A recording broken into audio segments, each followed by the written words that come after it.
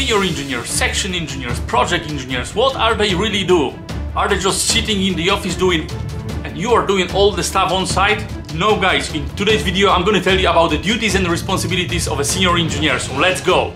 My name is Greg and welcome to SITENG. So what's the main duties of senior engineers guys? I'm gonna start for the QA, the quality assurance, filling of ITPs and all that stuff. And that's the one of the big one the senior engineer going to be responsible for, or they're going to be project engineer or sometimes section engineer, depending of the job size. So when we talk about the QA, we mostly thinking about the rebar checking and all the stuff. So that means, first of all, the senior engineer have to know the drawings and have to know the drawings very well. As actually on site, there might not be level of contact for him to ask the question. So he might be actually the last point of contact for setting out and for site engineers. So that will be the main thing. You need to know the drawings well and you need to keep an eye on the QA. You need to keep all the records very well and make sure everything is spot on really. And as I said, even if on some jobs there might be site engineers taking a little bit of responsibility for the QA checks and all the stuff, senior engineer going to be the one to keep an eye on ITP and making sure everything is collected, everything is agreed with the client before everything is constructed. The second big thing for senior engineer guys, that's, that's the ordering, the rebar call-offs and all the stuff.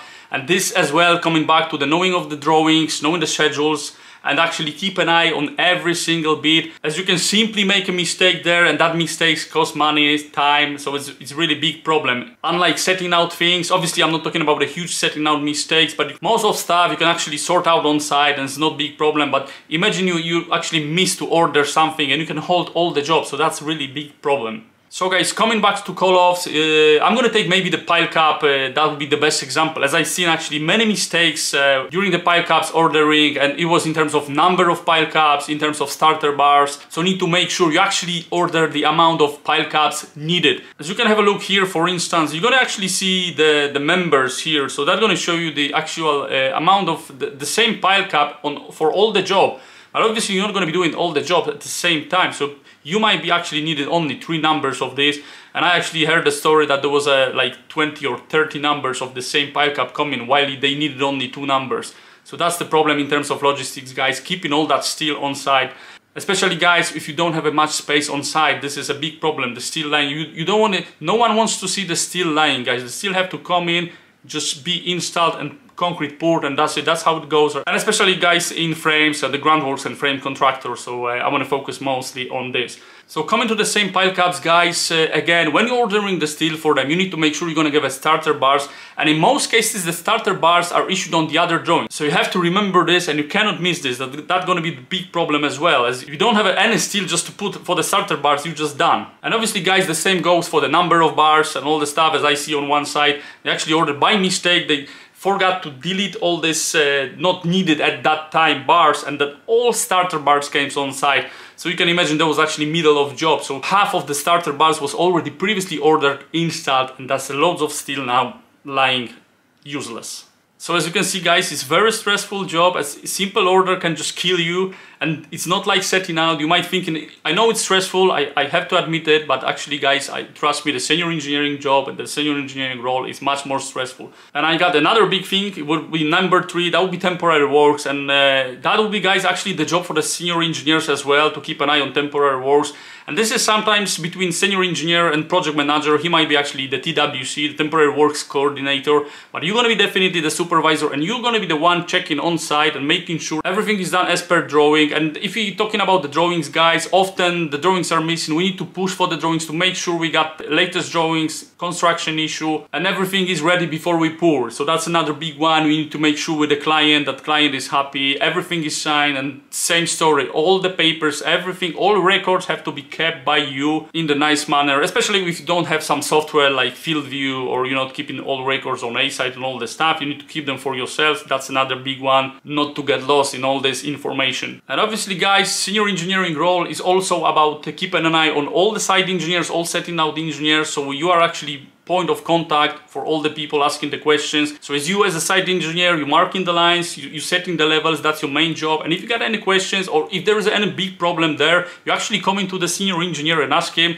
and he's making the decision. So that's another one. You can see here that decision making, especially at, at the higher level, at the more complex stuff is actually by senior engineer. So he keeps everything in his head. So that's why this is very stressful as well, guys. And I know you're sometimes thinking that you're doing a main job on site, but uh, the senior engineer is a really hard work, guys. Obviously, guys, everyone wants to jump up the ladder, and I encourage you actually to go for the for the senior engineering role if you're doing site engineering for some time. But I just want you in this video actually to realize what are the main responsibilities what are the main duties of senior engineer so it sometimes might be might be looking that it's it's not that hard job you're running on site but it's actually many stuff to come here guys. You need to make sure about this drawing. You know everything. You need to keep a good contact with client. You need to make sure you got all the information actually coming before you're going to construct anything guys. And then you're going to actually pass the information on site to the site engineers to the setting out engineers. So that's quite big responsibility. But obviously i encourage you to jump up as you're going to be going as you're going to be progressing your career. You need to try it. And especially if you're going for project management that's the really good school there. The really good experience to be a senior engineer for sometimes especially that project managers